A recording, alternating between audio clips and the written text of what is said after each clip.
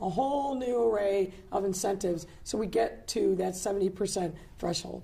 So more to come. Absolutely, more to come. We're not done with COVID news. The news right now is good, uh, but we're not taking our eye off the ball in terms of vaccination. No. So, uh, and Allison, I just want to also say on your program.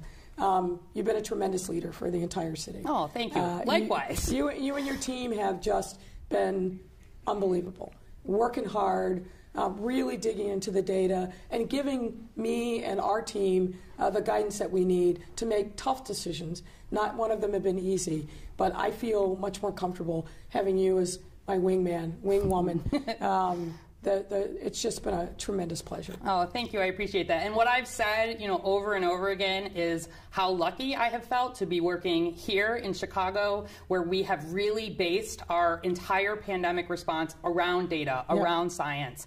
Uh, you know, we've not changed the goals that we've set. We've continued to follow these numbers, and we're going to continue to follow them.